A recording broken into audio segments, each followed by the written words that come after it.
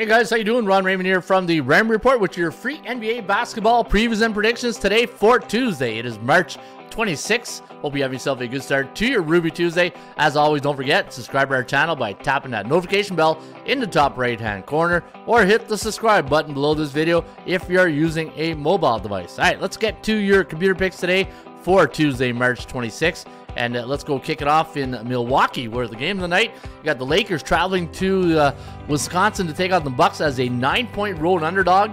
220, uh, 232 is the total. ATS forecast system play going to go with the Bucks in this one. 118 to 107, the over/under landing on 226.24. So we do have this game staying under the total. Lakers coming in on a three-game win streak, while the Bucks off a big win last game against the Thunder. 118-93 was the final. That was two nights ago. And Milwaukee now riding a two-game win streak.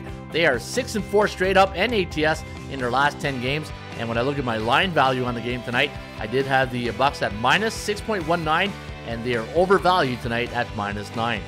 Golden State Warriors taking on the Miami Heat. The Warriors coming off a 114-110 loss to the uh, T-Wolves and that was uh, two nights ago.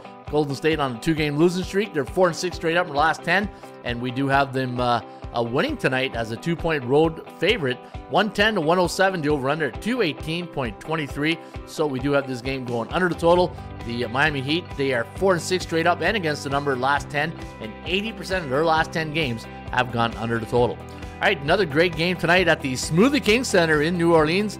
The Pelicans going to be a one half point home underdog 222.5 is the total, and we're going to go with uh, the Thunder in this one. 111 to 109, the over under, 220.15. So we do have this game staying under the total.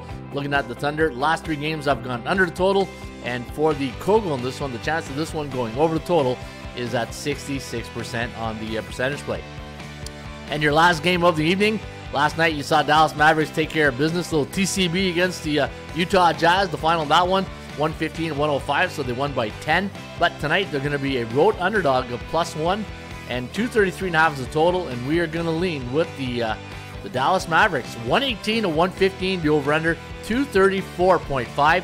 Dallas coming in on a five game win streak. Sacramento though they're uh, not too bad these days, seven and three straight up in the last 10. They're off a 108 96 win um, last night against the Philadelphia 76ers but they're in tough against uh, Luka Doncic and company, and we do like this game to uh, stay over the total at 234.5.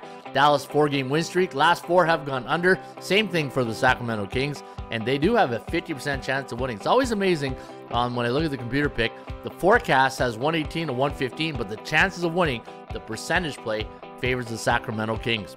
All right, folks, don't forget, did a uh, podcast today on the uh, Raymond Report.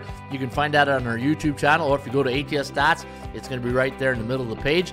And if you want to get more information on the games tonight, we've got a free preview on the Lakers and Bucks and the Thunder and Pelicans right here at atsstats.com. Good luck.